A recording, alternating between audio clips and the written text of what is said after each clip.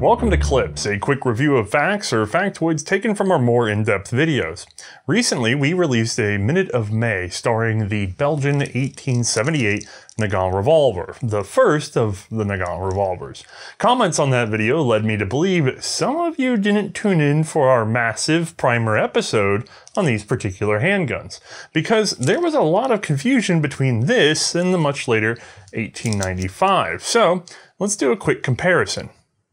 All right, here is our Belgian 1878, and for scale, a Russian 1895. The 1895 is much smaller, much narrower in the grip, and they use a different cartridge. This particular guy is a 9.4 millimeter. This is a 7.62, and it's actually a gas seal system. So when we operate the gun, single action, and boom, double action. Ooh, there we go, slippy. This guy, single action. You see that cylinder go forward. Hmm. And a little awkward upside down. Double action. Yeah, that cylinder went forward again. That's our gas seal, not present in this system. Otherwise, we also have very different mechanics. You may have noticed I just fired both of these for all intents and purposes. And look at the hammers. This one's all the way down. This one's actually rebounded itself. That's because internally, these are quite different. The 1878 uses actually a number of innovations from different gunsmiths. We have a Marriott style of double action, which means we have a hammer nose, which is lifted up by the back of the trigger. Single action, though, is done by a Tranter style of sear. So this sear right here is holding the hammer until the trigger tips it in order to fall. Boom.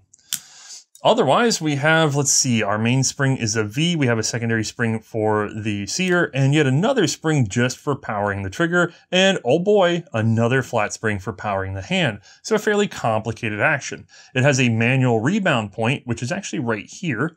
Let me just click. There she is. That's the manual rebound, which allows us to load and unload the gun, keeping the firing pin off of whatever may be in or going out of this particular cylinder. If we look at the structure of this piece, there is one thing that Nagant patented in here that's wholly original, which is actually the trigger guard assembly. It has a hinge point here and a screw there, which means that we can unscrew it, lower it down, and it will take tension off of this spring, this spring, and this spring all at once. And we can use it as a lever for retensioning them when we put the gun back together.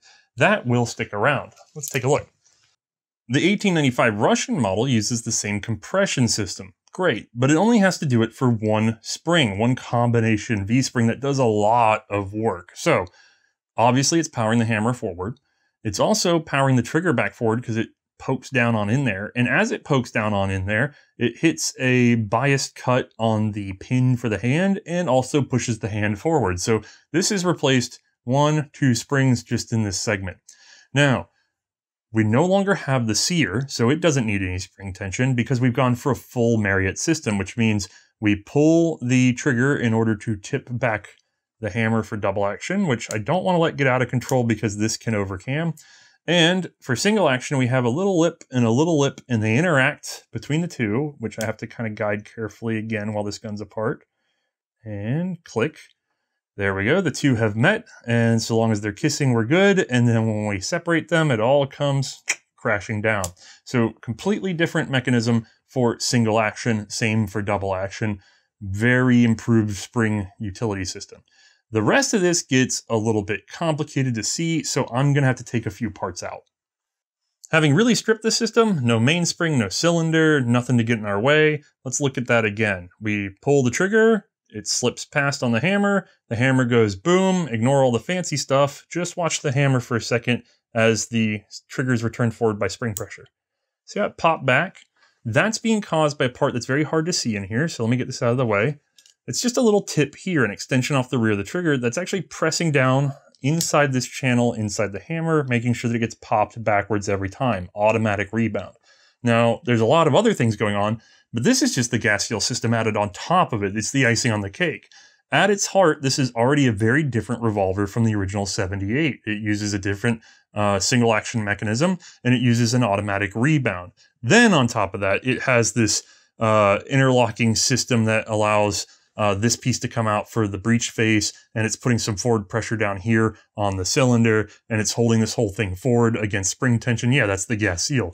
But this gun is distinctly different, even at its core, from its uh, much older sibling. Now, of course, there are several evolutionary steps between this and this that we did not get to cover today, but you can see most of them in our Belgian Nagant episode, and those that you can't find there, well, we'll be exploring soon enough. Have a good one.